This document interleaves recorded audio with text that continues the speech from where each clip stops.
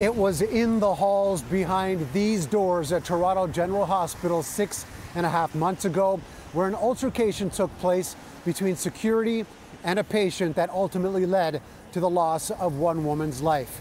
It's an incident made even more shocking with details from a recent coroner's report looking into what happens.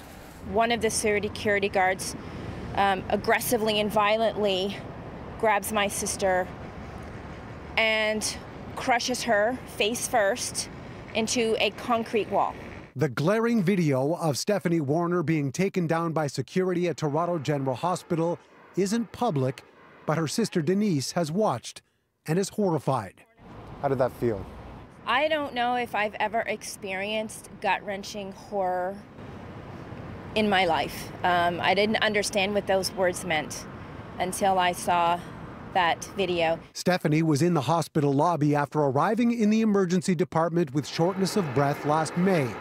When she was approached by the security team, a verbal exchange was followed by a physical altercation.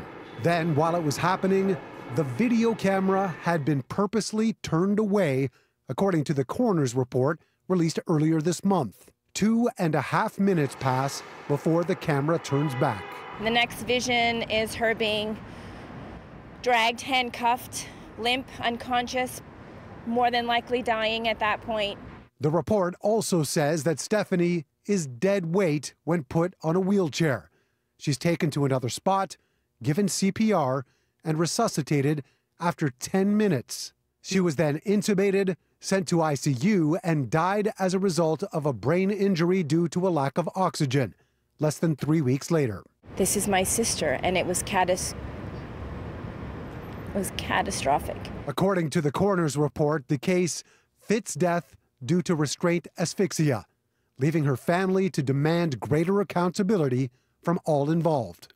We have some really big systemic uh, issues happening. There's some serious prejudice happening here. Coming up in the program, we tell you more about Stephanie and her pre existing health condition. We'll hear from the University Health Network about the actions that have been taken and more questions that still need to be answered. Earlier in the program, we introduced you to Stephanie Warner. She died in May after an altercation with security guards here at Toronto General Hospital, leaving many questions.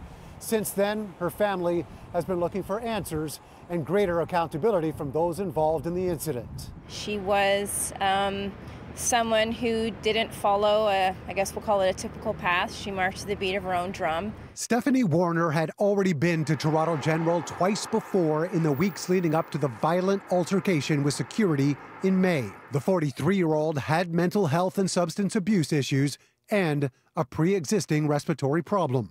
You can clearly see she was in a struggle for her air, and very quickly she is approached by uh, a security person um, who immediately is very obviously angry with her, um, is demonstrative. Uh, is within her personal space. She's taken down under the guise of a security camera that had been purposely turned away for more than two minutes before collapsing. Stephanie would die from a brain injury because of a lack of oxygen. So I'm not sure what they were doing. I can only surmise that this was an effort to um, be somehow, somehow covert about the attack.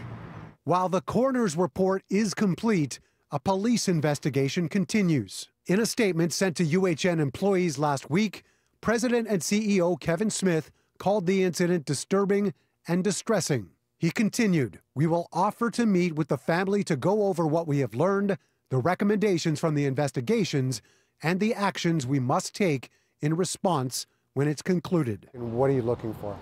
It would be an understatement if I said that I'm anxious to see serious criminal charges. City News has learned two staff members involved with the case are no longer working with UHN. Two others have faced disciplinary action, but no specifics. There's no closure, there's no peace. You know, and there's parts of me that worry is there peace for my beautiful sister? You know, is there?